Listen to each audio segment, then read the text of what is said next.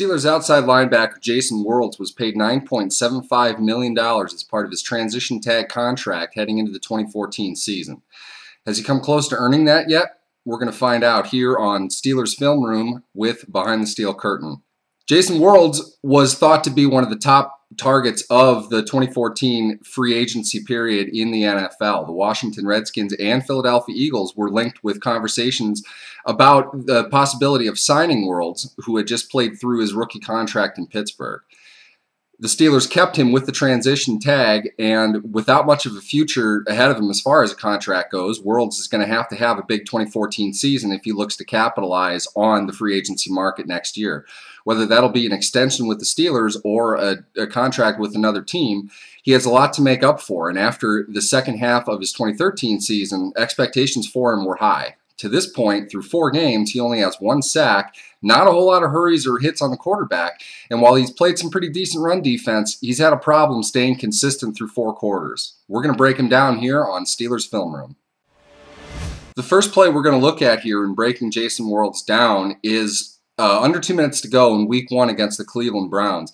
The Browns at this point had been driving pretty consistently on the Steelers in the second half and had roared back from a significant deficit in that first half to come within striking distance at the end. They had the ball here deep in their own territory, but it, in plays like this, situations like this, the guys who get paid the most money are the ones that you know any fan or team is going to expect will come up with the big play. Now this is an example of Cam Hayward making the big play, but watch Jason Worilds on this. Um, he's, he's at his standard left outside linebacker position. As he comes off the ball, watch how straight up he's standing and watch how slow he is to react. Now, to, to one uh, point of view, it could be that he's waiting for the tight end to make a move because he's got coverage responsibility of him. But either way, the biggest thing is the biggest mismatch in the NFL should be a pass rushing outside linebacker in a 3 4 defense versus a pass catching tight end. In reality, he should be absolutely whipping him, regardless whether he's going out and coverage or going out in a pattern or not. Worilds doesn't do that. He delays for a second and gets stoned basically on, on his way back to the quarterback. Fortunately for the Steelers, Hayward breaks in and makes the play, but the reality is Worilds does next to nothing on this play, and you have to wonder if fatigue isn't something of an issue. He has it seems that he has this issue in the fourth quarter late in games, and while it's understandable the Steelers defense may have been tired of this situation, it's something that he's going to have to figure out and and or the Steelers are going to have to find a way to get him enough rest so he's fresh in the fourth quarter because he was dead in this one and this play is a great example of it.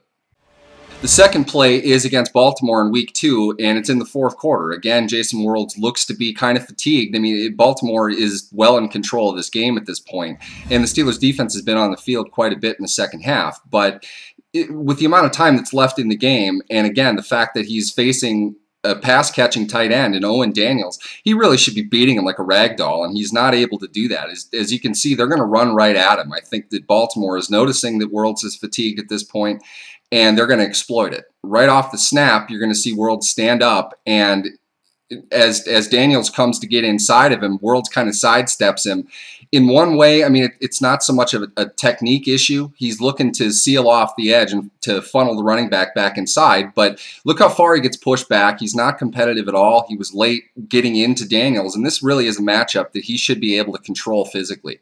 In this game against the run, Worilds actually didn't do too badly early in the game, which is more indication in my mind that he's wearing out toward the end of games and he's got an issue with his stamina early in the season. Hope isn't lost for the Steelers' big money outside linebacker. As you can see here in week three against Carolina, early in the game, when he does have energy, he's got a lot of explosive ability. You watch this play with uh, 451 in the first quarter left against Carolina. Carolina's going to load up their heavies right off to the right, looking to, to run a stretch right at Jason Worilds.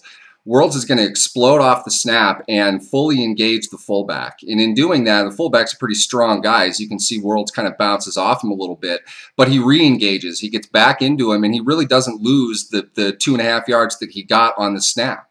And in doing that, he doesn't give the running back an angle to get up the field. He has to run a lot more flat and a lot more uh, toward the sideline. And in doing that, it gives Steve McLendon an opportunity to chase him down and make the play this kind of explosion, this kind of strength off the edge is really what the Steelers expected from him based on his performance in 2013 and with the size of the contract that they gave him. If Worilds is going to score a big extension either this offseason or anytime in the future, he's going to have to make more plays like this, and he's going to have to do it throughout all four quarters and not just in the first and the second when he has a little bit more energy.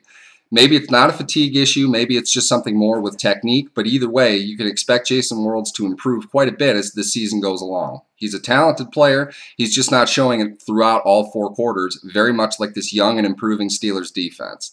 They've got a way to go yet, and Worilds is going to have to spearhead that effort if he looks to cash in big and the Steelers look to improve on a, a defense that hasn't played particularly well through the first quarter of the season. With Steelers Film Room and Behind the Steel Curtain, I'm Neal Coolong.